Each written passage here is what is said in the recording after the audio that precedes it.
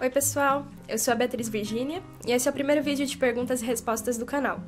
Algumas semanas eu abri caixinhas de perguntas no Instagram e também deixei um espaço na comunidade do canal para quem quisesse deixar alguma pergunta por lá também. E eu tentei agrupar as perguntas em algumas categorias para que não ficasse muito solto, muito bagunçado. E vamos nessa. A primeira categoria é de perguntas sobre mim. E peço desculpas se eu ler o arroba de vocês errado, tem alguns usuários que eu achei um pouquinho difícil de ler. Mas a primeira pergunta é do Didier underline Raio, e também do Juliano Medeiros, meu aluno. E as perguntas são: Começou a tocar com quantos anos? E do Juliano, por que você escolheu o violão clássico? Bom, eu comecei a tocar com 12 anos, hoje eu tenho 24, e eu comecei a ter aulas em um projeto social chamado Projeto Guri. É um projeto que acontece no estado de São Paulo. É, e nesse projeto você tem aulas em conjunto, não individuais, então são cameratas de violões, você toca peças em conjunto. E por que violão clássico? Bom, meu pai que escolheu o instrumento. Acontece que ele viu na televisão que tinham aberto as inscrições para o projeto, isso em 2009, e ele me levou, fez a matrícula, ele mesmo escolheu, tudo certinho. Mas foi dessa forma, não foi como se eu tivesse sempre demonstrando um interesse em aprender um instrumento. Eu nunca falei nada. Ele escolheu e ele e a minha mãe, eles costumam dizer assim, aquela frase bem clichê, né? Atirou no que viu e acertou no que não viu, porque acabei adorando o violão e continuo estudando até hoje, tô fazendo a faculdade de música também. Então, foi isso. Meu pai escolheu e eu acabei gostando. A próxima pergunta é do arroba Shinra Corporation. Você pretende seguir fazendo mestrado e doutorado em performance? Bom, vamos dizer que sim. Até um tempo atrás eu tinha certeza disso, agora eu tô no momento de me encaminhando para a formatura da minha primeira graduação e estou pensando bastante nisso. Ainda não tenho total certeza nesse momento, mas provavelmente. Jeremias Cornélio perguntou: Você já tocou em um sete cordas? Tem vontade de ter um? Eu já toquei em um oito cordas uma vez do professor Davi Rocha, talvez ele veja esse vídeo. Toquei uma vez só e assim, só de colocar uma corda a mais já parece que você não sabe mais tocar violão, né? Confunde bastante. Mas toquei assim, de forma pontual, ali 5, 10 minutinhos. E só. Nunca fiquei um tempo com um violão desse com mais cordas. E nunca pensei em ter também. Não sei se mais pra frente eu vou me interessar por isso, mas é isso. Eu não toquei em um de sete. Talvez, talvez tenha tocado também, porque teve um momento que eu participei de grupos de choro no conservatório. Então, talvez eu tenha tocado no de alguém, não me lembro agora, mas. Rony Barreto disse: Fala sobre as suas inspirações na música. Pensando aqui no YouTube, Paulo Hermosin. Nos primeiros anos de estudo eu assistia muitos vídeos da Ana Vidovic. No Instagram vejo muito a violonista Vera Danilina. O Fábio Lima já assisti bastante. Também nos primeiros anos, que tem aquele momento, acho que todo mundo tem aquele momento de maratonar o canal da pessoa, assim, de assistir muito.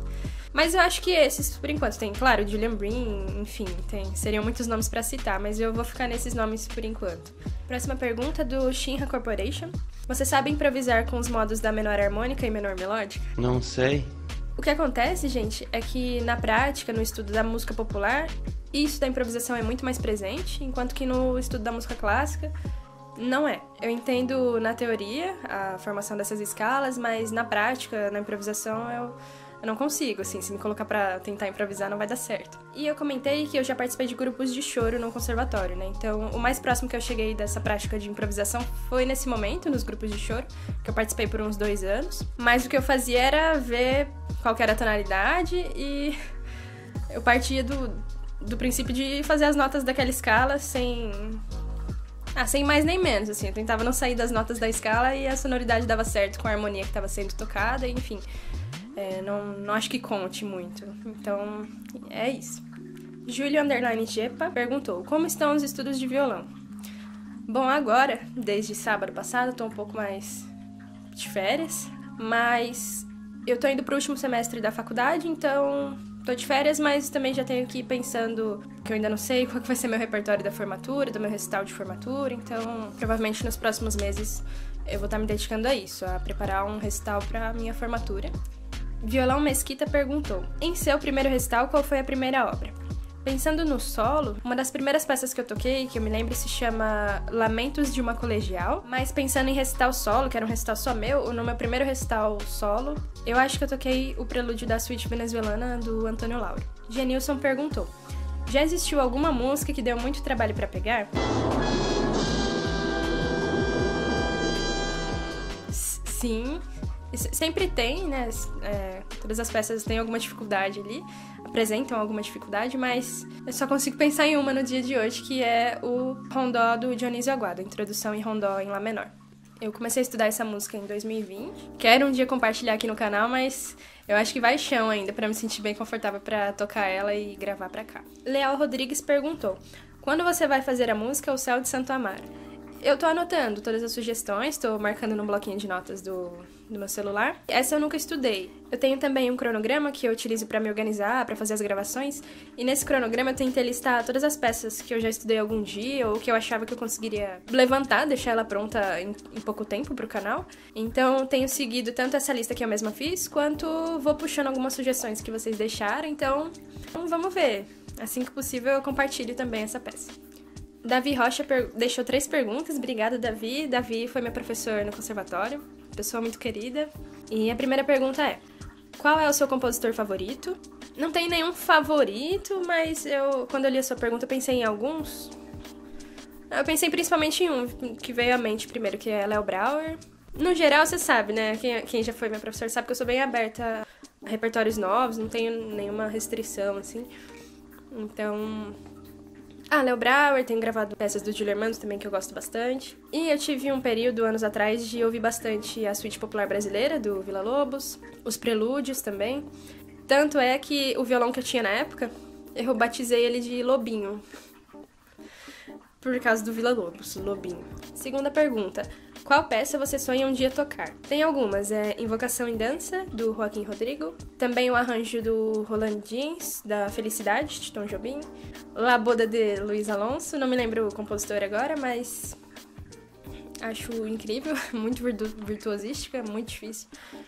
Mas acho que são essas por enquanto. E a terceira pergunta do Davi é: Quanto tempo você costuma levar entre ler uma peça nova e aprender ela de forma satisfatória para gravar um vídeo novo? Bom, depende, mas eu vou responder pensando na última peça que eu compartilhei, que foi Eterna Saudade, do Dilemando Reis. E eu me lembro que eu imprimi a partitura e eu fiz a leitura dela inteira, assim, de localizar as notas, em 25 minutos. Eu tenho certeza que foi esse tempo, porque eu costumo estudar utilizando a técnica de Pomodoro. Então eu me lembro que deu o tempo ali do, da sessão e eu tinha acabado de ler a, todas as notas. Claro que eu não conseguiria tocar do início ao fim ainda, mas eu tinha localizado, feito algumas anotações na partitura.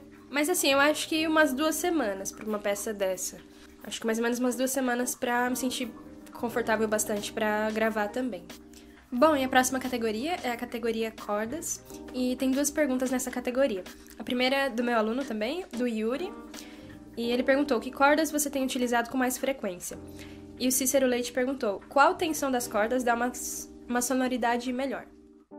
Atualmente eu estou utilizando esse jogo da Dadário, que é a EXP, tensão hard, mas esse ano eu também já utilizei Hanabá série 500 e também a série 728. E em breve, assim que der um tempinho, eu vou gravar um vídeo comentando sobre essas cordas da Hanabá também.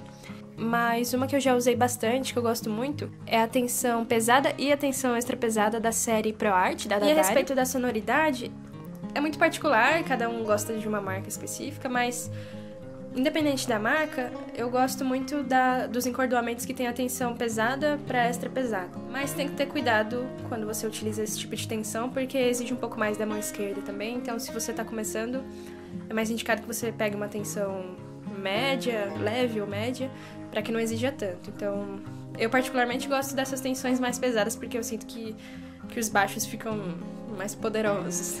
Então, eu gosto mais. Próxima categoria, categoria estudo. E o Éder perguntou: Qual processo você usa para levantar uma peça do zero? Bom, o violão, enquanto um instrumento harmônico, no qual você consegue fazer harmonia, fazer melodia, enfim. Quando eu pego uma peça nova, eu tento separar as vozes, né? Tento, tento ler somente a linha do baixo primeiro, ou só a melodia. A ordem não, não importa tanto, mas geralmente eu leio a melodia, depois os baixos. Tento fazer dessa forma e juntando aos poucos, né?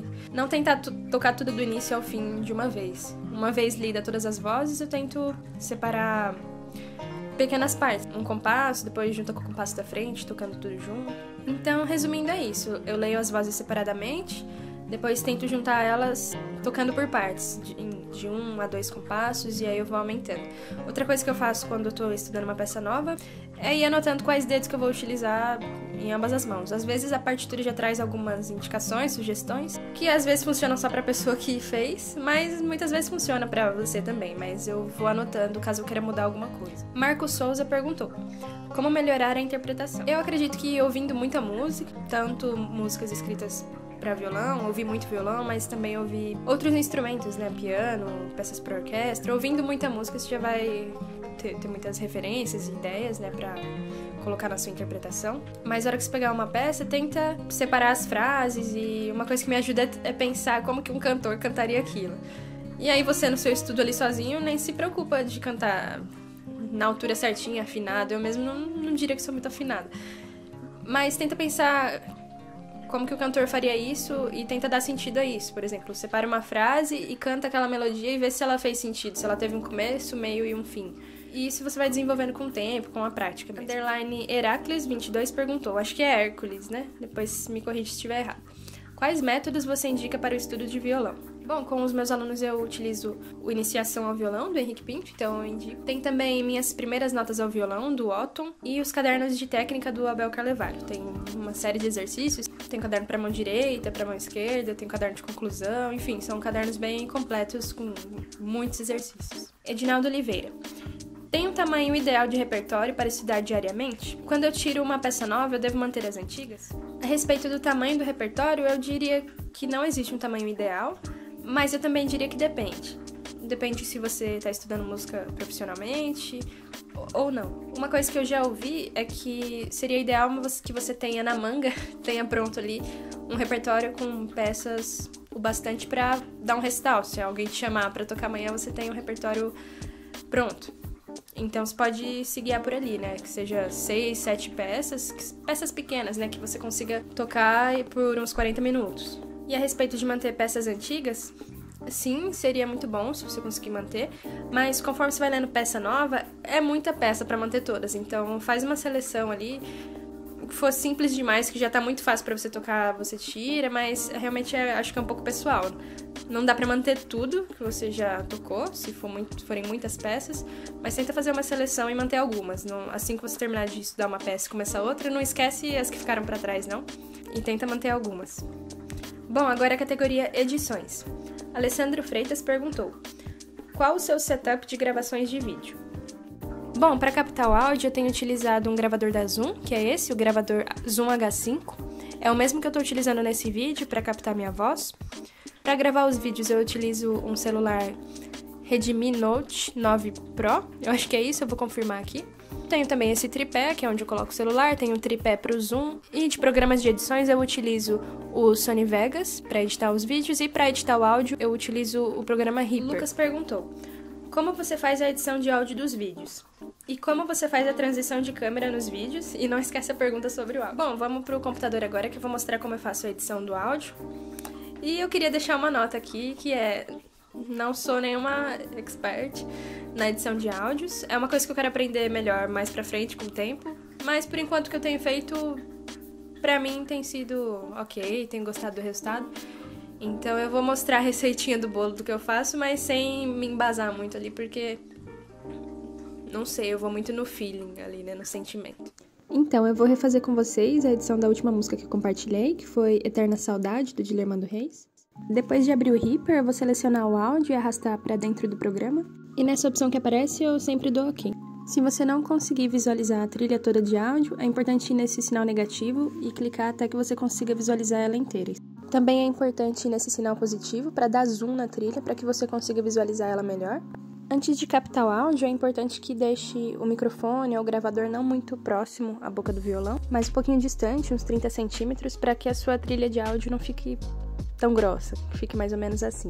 Depois disso, eu dou dois cliques nessa linha vermelha e arrasto para cima. Na Eterna Saudade, eu fiz isso até chegar em 12.99, mais ou menos.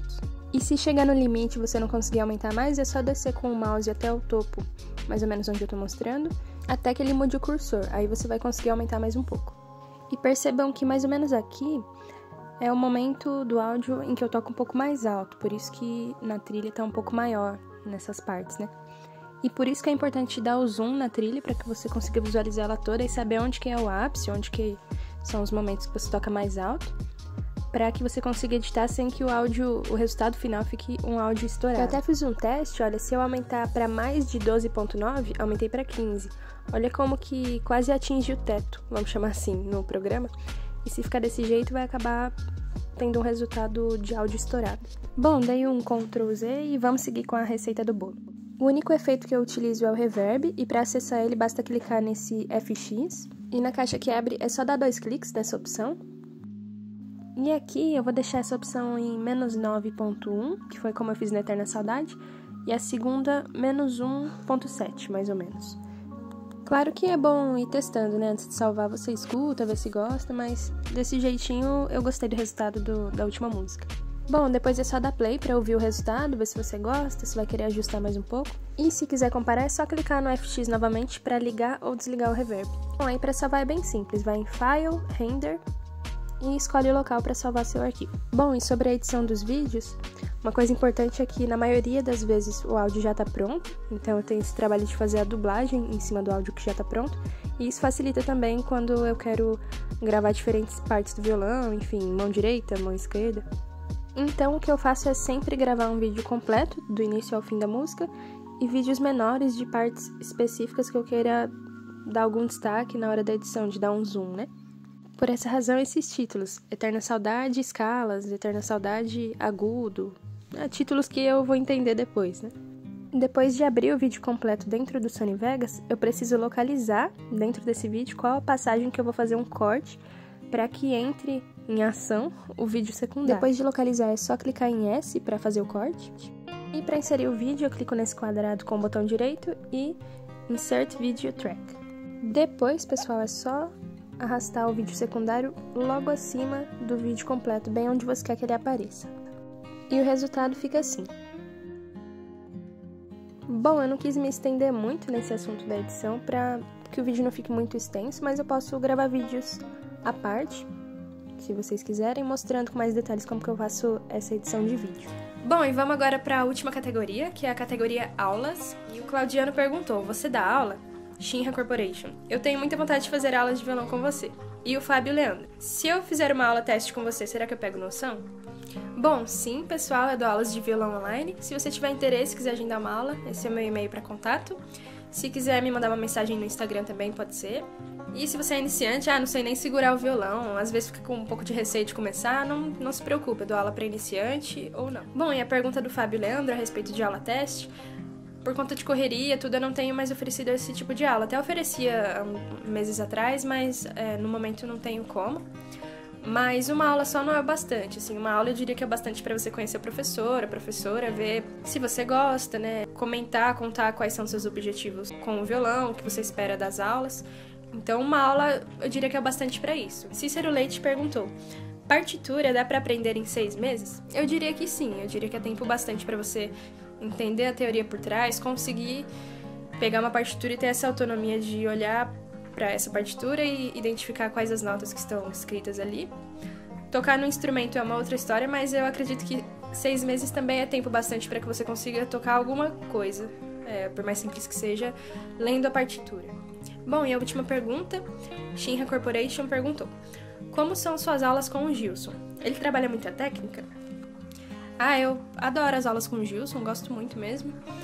E, bom, para quem não conhece e não sabe, que eu não comentei sobre isso no início, atualmente eu estudo na Unicamp, em Campinas, faço bacharelado em violão erudito e o meu professor é o professor Gilson Antunes. Num curso de bacharelado em instrumento, tô falando isso, gente, pra quem não saiba, né? Pra algumas pessoas isso já, já é óbvio, mas num curso de bacharelado, diferente da licenciatura, no bacharelado você tem, além das aulas em, em conjunto, aulas de percepção musical, de harmonia, de análise, você tem também, uma vez por semana, uma aula individual com o professor, no caso, com o Gilson. E a respeito da técnica, sim, ele trabalha técnica. Se eu não estiver enganada, foi na primeira aula já, ou na segunda, que ele me passou os primeiros exercícios de técnica.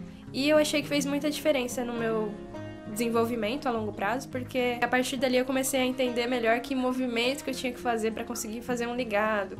Enfim, eu comecei a pensar melhor a questão mecânica dos dedos o que, que eu precisava fazer para executar a, as técnicas que aparecem no repertório. Né? Significa que vai acertar tudo? Não, mas pelo menos você começa a entender melhor o que, que você tem que fazer para resolver essas coisas. Você não fica refém da sorte ali de fazer e se, se der certo vai sair.